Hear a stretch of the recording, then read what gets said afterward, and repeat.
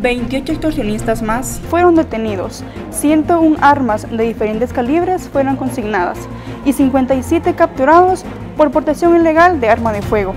En la semana del 21 al 27 de julio fueron capturadas 492 personas, de las que 162 fueron en la capital y 330 en los departamentos. De esas aprehensiones, 198 fueron cumpliendo órdenes de diferentes juzgados y el resto fue en flagrancia. 22 capturas por robo, 11 por violación, 10 por estafa y 19 por violencia contra la mujer. Se recuperaron 28 motocicletas y 19 vehículos.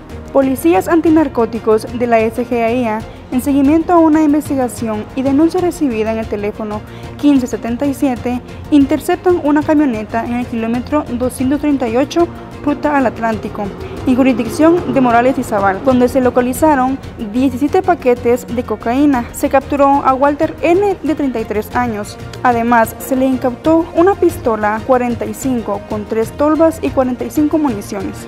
Dos capturados con fines de extradición por delitos relacionados al narcotráfico fueron ubicados en el kilómetro 104, jurisdicción de Santa Lucía, Cochumalguapa, Escuintla, y el segundo en un operativo en la 0 Calle y 18 Avenida Zona 15, solicitados por Estados Unidos. El Centro Anticorrupción Policial de la Inspectoría General de la Policía Nacional Civil tiene el número 1531 para denunciar malas prácticas policiales. Dos presuntos sicarios de la Mara 18 fueron capturados tras una persecución que inició en San José Villanueva y que finalizó en entrada a Planes de Bárcenas, donde se les incautaron dos pistolas, un vehículo robado y droga. Dos mareros salvatrucha, presuntos responsables de rapto, fueron capturados. Uno de ellos es padre de la víctima.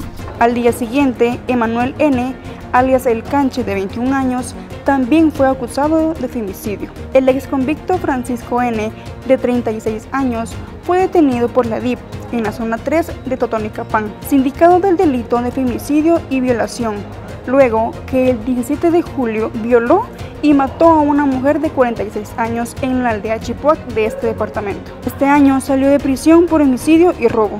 En residenciales El Quetzal, San Juan Zacatepeques, investigadores de la DEI capturaron al marero salvatrucha Michael N., alias Orejas, de 29 años, por asesinato y asociación ilícita. Este marero es presunto responsable del ataque a un piloto de autobús en diciembre del año 2019. En una bodega portuaria nacional Santo Tomás de Castilla, Puerto Barrios y Zabal fueron incautados 13 fusiles de asalto y 27 tolvas con destino a Nentón, Huehuetenango. Fueron descubiertos por policías de Dipafront durante una inspección a una caja de encomiendas que venía en un contenedor procedente de Estados Unidos. Los operativos de seguridad continúan para capturar a maleantes. Su denuncia ayuda a la Policía Nacional Civil a identificar lugares y personas vinculadas a delitos. Denuncia los teléfonos 110 y 1561